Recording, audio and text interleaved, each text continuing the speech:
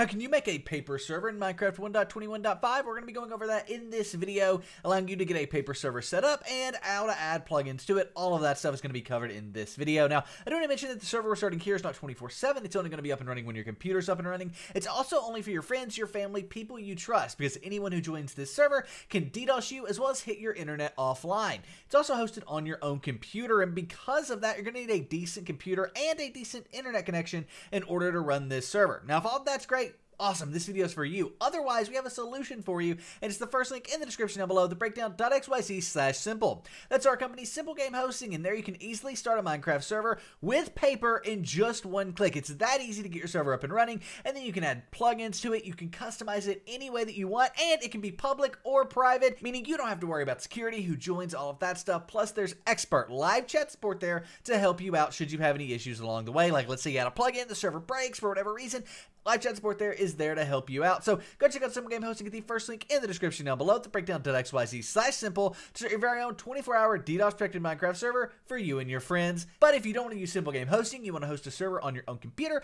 let's jump into it. First things first, go to the second link down below. That will take you here. This is our in-depth guide on making a paper Minecraft server in text format, which I know some people prefer, but if not, no worries. Go ahead and click the download paper MC button here to go to the official download page. There, click paper, and then wait a minute, this says 1.21.4. Well, if it says 1.21.5, go ahead and download it. But if not, look, toggle experimental builds. There we go. 1.21.5. Right now, paper 1.21.5 is in like beta, basically. So that means it may have some bugs and things like that that might not have been fixed yet, but that's okay. We can still get the server up and running. So we're going to go ahead and click paper 1.21.5 here. And after a few seconds, the download will begin. You may need to keep or save it like this, but it's 100% safe to do that. Once you've saved it, it will go ahead and download, and we can minimize our browser. Then we want to create a new folder on our desktop. So right click, new folder. You can name anything you want. I'm going to name it paper 1.21.5 server. Now we want to find that paper file we downloaded. Most likely it's going to be in your downloads folder, which is where it is for me, right here. We can drag and drop it from there into the folder that's on our desktop, and right like so, it is now in this paper 1.21.5 folder. Awesome. Now what we want to do is right click, create a new text document. So again, that was right click, create a new text document. You can name this anything you want, and then go ahead and open up the new text document. In this text document, we want to go to the description down below and find this. These are codes. Basically, it's how much RAM we want the server to have. If we wanted to have 2 gigabytes, we would copy this code from Java to pause. If we wanted 4 gigabytes, we'd copy this code. That's what I'm going to go with. So select it from the description, right click, copy, and then we want to go back to that new text document. Once you're in it, paste that code. Now, click File, Save As. It's important you do Save As. And then we want to name this run.bat. So file name is run.bat, exactly like that. And then the save type as is all files. From there, we can go ahead and click Save. And now if we close out of Notepad, we have this run.bat Windows batch file. Now for you, it might not have .bat at the end. If it doesn't, click View, and then click Show and make sure File Name Extensions is checked. If it's not, it'll just be called Run, but if that is checked, you will be able to see run.bat. Now at this point, there's only one more thing we need to do before we can just start our server, and let's find this paper file here, right click, and rename this to just paper. Now, if you have file name extensions on, it'll be paper.jar, but it should be paper.jar or just paper, right like so. And then now when we double click that run.bat file, it's going to attempt to start the server but it will fail, and that's because we're going to need to agree to the Minecraft EULA. However, if it doesn't attempt to start the server here, it's because you need Java, specifically Java 21 for Minecraft 1.21.5 paper. This is linked in the description down below. It goes over everything you need to know. After you get Java 21, you may want to run the Jarfix. That's going to take the jar files, like the paper file you downloaded, and link it back to Java. But first, get Java 21, then run the Jarfix. Now we can go ahead, and minimize the browser, and this has failed. As we can see, press any key to continue. We do that, it will close, we have a lot more files files and folders here. We also have this eula.txt. Open that up and change eula equals false to eula equals true. TRUE exactly like that.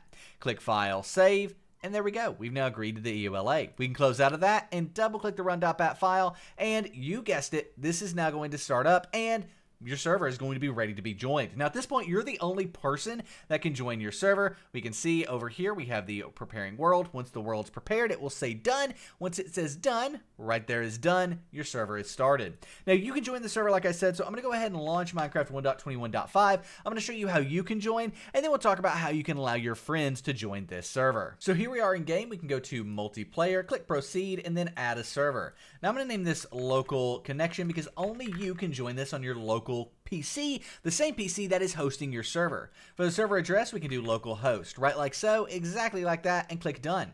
After a few seconds, the connection automatically resolves. You can double click on it, and we will see us join the game. Now, I would recommend running around, making sure things are good. My graphic settings are pretty bad on this, but making sure things are good, making sure there's no lag, all of that stuff. And if everything looks good, well then, awesome. You can go ahead and continue on and allow your friends to join. But if you're lagging right now with just you on the server, it's 100% going to lag with your friends. And in that case, you'll need to use a third-party host or another method to host your Minecraft server, like Simple Game Hosting, the breakdown.xyz slash simple, by the way, and to get your server started that way. But right now, we're looking good, no lag whatsoever. Paper is actually super efficient, so you may actually be able to run a paper server even if you couldn't run like a vanilla server, because it is a lot more efficient than vanilla Minecraft. With that being said, we can run it, we're good to go. How do we allow our friends to join this server? Well, what we want to do is go to the description down below and go here.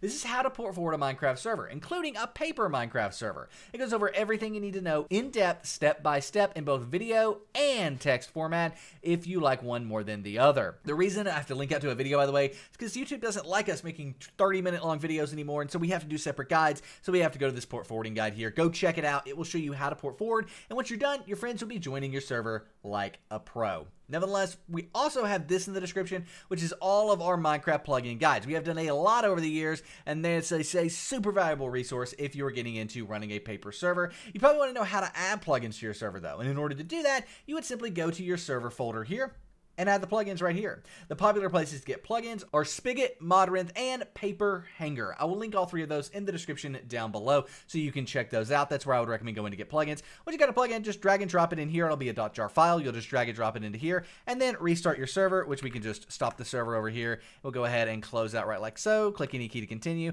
and then double click that run.bat again and your server will now start. It's that easy. Once the plugin's installed, you can also run the PL command from the server's console and when you do, it will print that what is going on with the server plugins. There's none right now, so nothing is there, but that's how you can do that. We also have some other guides in the description that I'll quickly go over. How to add more RAM to your server using that file that we linked earlier. We explain how that works, how to add more RAM to it, how to allow Java through Windows Defender. This is after you port forward. If you're having issues, this can help you out. And then how to fix a broken Minecraft server. It's just 20 minutes of me fixing Minecraft servers. It's pretty cool. Go check it out, and you're going to learn a lot because your server's probably going to break. Most servers break at some point, so having this is a great way to make sure that gets fixed. But nevertheless, at this point, you now know how to get things up and running for your paper Minecraft server. If you got any questions, let us know in the comment section down below. We will see you in the next video, and I am out. Peace.